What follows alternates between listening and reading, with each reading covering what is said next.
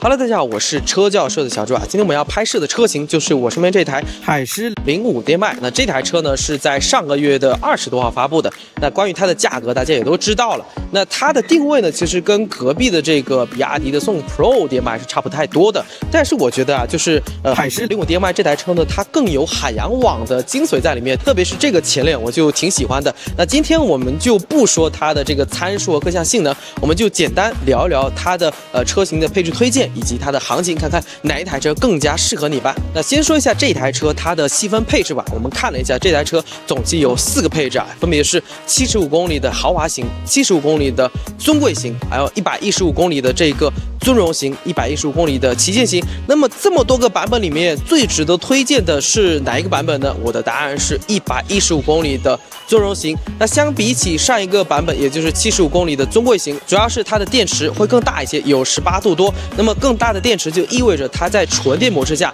拥有更长的续航，因此呢，你的电池的充电频率也会下来，所以它的这个寿命也会比七十五公里版本要长那么一丢丢。那另外一个优点就是。这个一百一十五公里的尊荣型，它还有一个配置，就是它有这个双层的夹胶玻璃。那么可能在中低速的情况下，这个隔音方面的差距可能不是特别的明显。但是等到中高速之后，这个隔音方面的差距就显得尤为突出了。原因就是这个双层夹胶玻璃一般来说呢，中间都会配备这个呃 PVB 的这个夹层膜，它起到一个作用，就是可以做到呃吸收啊、减弱啊、衰减。外部的声波，所以在中高速的这个状状态下，这种使用了双层隔音玻璃的车型，它在行驶品质上会比使用单层隔音玻璃的车型要好很多。这也是为什么我比较推荐大家去选择这个一百一十五公里的这个尊荣型的原因。车型选择呢，我们是聊完了，接下来这个环节呢，我们就说一说这台车目前的一个市场的行情吧。那刚才我也跟店里面的小哥哥聊了一下，就是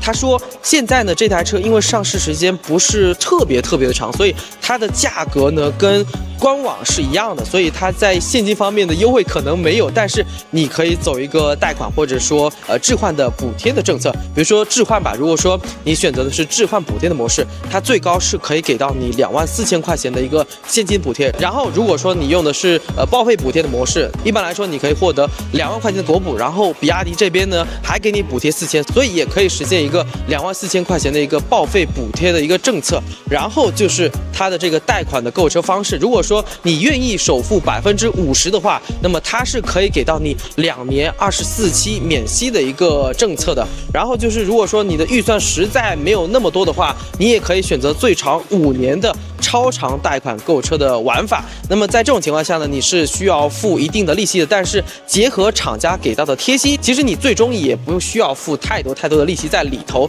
所以就这个贷款购车的玩法，我觉得还是挺划算的。那至于说它的这个提车的周期，现在问到的时间基本上都是一到两个月，相对来说还是比较长的。那呃，毕竟呃原因很简单，就是买比亚迪车型的人太多了啊，等待提车人也很多，所以提车周期稍微长一点，我觉得也是没什么的。在了解完海狮零五 DM-i 的各种配置和选车的各种政策之后，你会发现这台车不仅做到了好选易选，它在购车方面的政策也是非常非常的丰富的。那如果说你最近在呃看一台这种呃尺寸相对比较宽敞的呃家用的混动的 SUV，那我觉得你可以来考虑一下这一台海狮零五 DM-i。